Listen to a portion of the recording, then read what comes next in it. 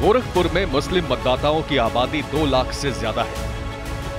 तो गोरखपुर में मौजूद हैं हम और गोरखनाथ मंदिर के ठीक सामने का इलाका जो अहमदनगर कहलाता है ये घनी आबादी मुसलमानों का इलाका है और बड़ी तादाद में मुसलमान हमारे साथ इकट्ठा है। तो बताइए नाम क्या है आपका? शहनशाह आलम नाम है मेरा। शहनशाह आलम। जी। तो देश का शहनशाह कैसा काम कर रहा है? मुल्क के लिए देश का शहनशाह मुल्क के लिए और आम जन के लिए और मुसलमानों के लिए भी बहुत शानदार काम कर रहा। है अच्छा। और यहाँ का मुसलमान और देश का भी मुसलमान इस बार भारतीय जनता पार्टी और मोदी जी के साथ है। जो कहा जाता था कि मोदी जी के आ जाने के बाद मुसलमानों को के साथ ये होगा ये ये बात ये हो जाएगा ये परेशानी आएगी ऐसी कोई बात नहीं है। कोई बात मुसलमान एकदम खुश है। कोई सारी योजनाओं का लाभ एकदम समान रूप से मिल रहा ये कौन फैलाया था? ये प्रोपोगेंडा किसका था? और इसके जाल में मुसलमान कितनी बार और कितने साल रहा? जरा ये भी बता दीजिए। मोदी जी के खिलाफ जो लोग खड़े थे अदर विरोधी पार्टियाँ बता दिए नाम लेके बताइए। जैसे मान लीजिए समाजवादी पार्टी बहुजन समाज पार्टी कांग्रेस के लोग मुसलमानों को एक तरह से समझ लीजिए कि डर डरा के रखते थे वोट बैंक बना वोट बैंक बना के इसको डराएँगे जितना ही डराएँगे ये हमेशा हमको वोट करेगा। उतना वोट करेगा। मोदी के नाम पे। मुसलमान कितने साल तक डरता रहा और कब तक वोट करता रहा? अब केंद्र मुसलमान तो आज जब से देश आज़ाद हुआ तब से डरता रहा है। चौदह के पहले हमेशा डरता रहा हमेशा वोट करता रहा। है। चाहे प्रदेश में हो चाहे केंद्र में भी हो। तो क्या कहा जाता था? क्या डराया जाता था? योगी जी का सरकार आ गया हाँ। और मोदी का आ गया हाँ। तो सबको पाकिस्तान जाना पड़ेगा। तो वीज़ा अप्लाई किया कि नहीं आपने पाकिस्तान वाला? कभी नौबत आई? हाँ भैया किसी ने कभी पाकिस्तान जाने की नौबत आई क्या इसमें किसी की? हाँ? किसी को कोई मौलाना आप बताइए कभी नौबत आई क्या पाकिस्तान जाने की? एक बार भी पासपोर्ट बनवाया कि नहीं बनवाया? नहीं, नहीं। नहीं बनवाया? पासपोर्ट तक बनवाने की ज़रूरत नहीं पड़ी आपको? और लोग कहते थे कि पाकिस्तान जाना पड़ेगा। अब चौबीस में मुसलमान कहाँ देख रहा है? किसको देश का शहनशाह बनाएगा मुसलमान? फिर मोदी जी आ रहे हैं। हाँ तो राहुल गांधी क्या करेंगे? राहुल गांधी वही चिल्ला के रह जाएँगे। अरे तो ऐसा मुसलमान धोखा दे देगा क्या इस बार लग रहा है? देखिए। हाँ? क्या कह रहे हैं? मुसलमान कोई किसी का बंधुआ मजदूर थोड़ी है। बहुत बढ़िया बात कही आपने। मुसलमान हाँ। भी अब समाज में पढ़ा लिखा है हाँ। और देश को और समाज को समझ रहा है बहुत बढ़िया। और हाँ। उसको समझते हुए देश को तरक्की कराने के लिए मोदी जी को फिर से लाने के लिए तैयार है। मुसलमानों के लिए कुछ डर बचा हुआ है कि सारा डर जो सत्तर सालों में दिखाया गया था जो जो पिक्चर दिखाई गई थी जितनी पिक्चरें रिलीज़ हुई वो कुछ सही साबित हुई कि गलत साबित हुई? सब डर खत्म हो गया। अब कोई डर बचा नहीं है कि कोई चीज़ से अब डरवा सकते हैं या हाँ। बगला सकते हैं। सारी योजनाएँ खुली किताब की तरह है। तो शब्बीर भाई गोरखपुर में मुसलमानों के लिए कुछ काम हुआ है कि सिर्फ़ हिंदुओं के लिए काम हो रहा है? क्योंकि बाबा तो पहले मठाधीश हैं। पीठाधीश्वर पहले मुख्यमंत्री बाद में हैं। तो कुछ काम कर रहे हैं मुसलमानों के लिए नहीं कर रहे काम हो रहा मुसलमानों के लिए काम हो रहा। है। हाँ। जब आदमी मुख्यमंत्री बन जाता है तो पूरे प्रदेश का हो जाता है। और सबके बारे में सोच रहा है? और सारे कौमों का हो जाता है। सबके कम हो जाता है। और सबके बारे में सोच रहे हैं सबके बारे में काम हो रहा है। तो वैसे साहब हैदराबाद से क्यों माइक में लगा के चिल्लाते हैं कि मेरे मुसलमान के कौम के लोगों जग जाओ बड़ी दिक्कत तकलीफ़ का वक्त आ गया है। अब एक हो जाओ एक नहीं होगे तो बिखर जाओगे। ये सब जो बातें कही जाती हैं वो किस लिए कही जा रही हैं? क्या कितना फ़र्क पड़ रहा है? सर किया जाता है हाँ। राजनीति के लिए। सबको अपना सत्ता बचाना और सत्ता पाने के लिए सब किया जाता है। हाँ। तो मुसलमान इस बात को समझने लगा है कि अभी भी गफलत में बिल्कुल समझने लगा। है। हाँ। तभी ना लोग जुड़ रहे हैं भाजपा से। अच्छा। मुसलमान भाजपा से जुड़ने लगा? बिल्कुल जुड़ गोरखपुर का मुसलमान जुड़ने लगा? जुड़ रहा है बहुत क्यों ऐसा? अब काम हो रहा है विकास हो रहा है विकास चाहिए किसी का कोई गुलाम तो है नहीं। हाँ।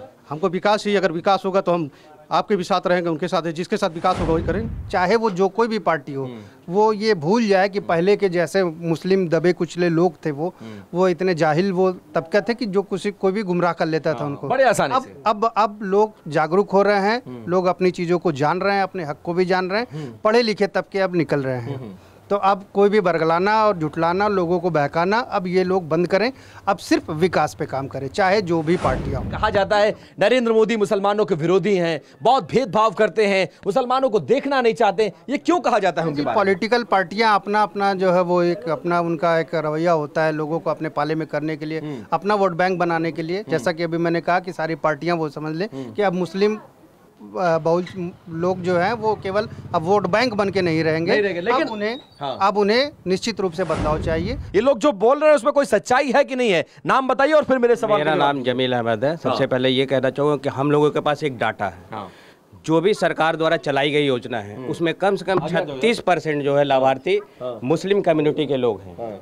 और खास करके हमें धन्यवाद अदा करना होगा अपने पर। अठारह परसेंट की पॉपुलेशन और छत्तीस परसेंट का मुनाफा। अठारह दुना छत्तीस मैंने डबल लाभ हो रहा है। बिल्कुल बिल्कुल। छत्तीस परसेंट ये डाटा कहता है कि मुसलमान लाभार्थी हुए हैं। पसमंदा मुसलमानों जो कि मुसलमानों में सबसे पिछड़ी कौम होती है उनको भी ऊपर उठाने की बात कही जा रही है। तो अब इससे अच्छी सरकार क्या हो सकती है? क्या कहना चाहेंगे? अब क्या कहना चाहें आप? अभी ये पूरा कैमरा घुमाइए जरा देखिए मोहल्ले में इतना बड़ा मोहल्ला है। आप देखिए लिखा होगा प्रधानमंत्री आवास योजना।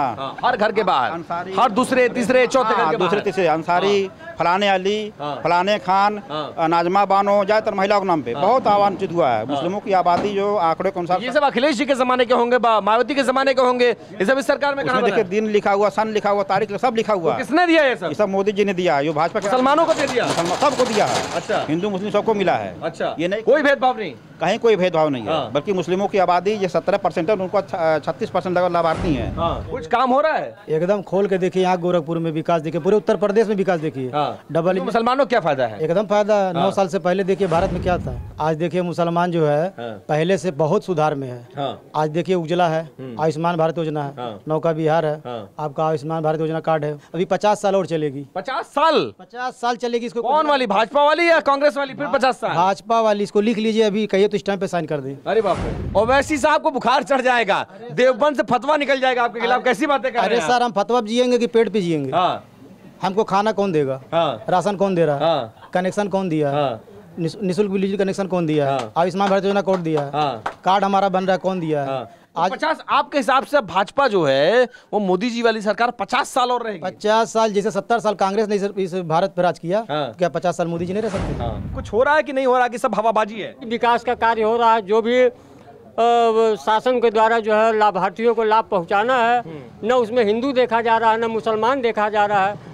बल्कि सिर्फ़ जो कानून बनाए जा रहे हैं वो तो मुसलमानों का ट्रिपल तलाक कानून मुसलमानों के खिलाफ पसमानदा के बारे में कहा जा रहा है। इससे कह रहे हैं तमाम राजनीतिक दल कह रहे हैं मोदी जी सिर्फ़ पॉलिटिक्स कर रहे हैं कोई भला नहीं करना चाहते हैं। कुछ भला करना चाहते हैं मोदी जी मुसलमानों का कि नहीं? नहीं एक चीज़ आप बताइए जो- भी विकास कार्य हो रहा है क्या सिर्फ़ हिंदुओं के लिए हो रहा है? ऐसा नहीं है जो भी सरकार द्वारा चलाई जा रही है उसमें सारे लोगों बराबर फ़ायदा मिल बराबर फ़ायदा तो हो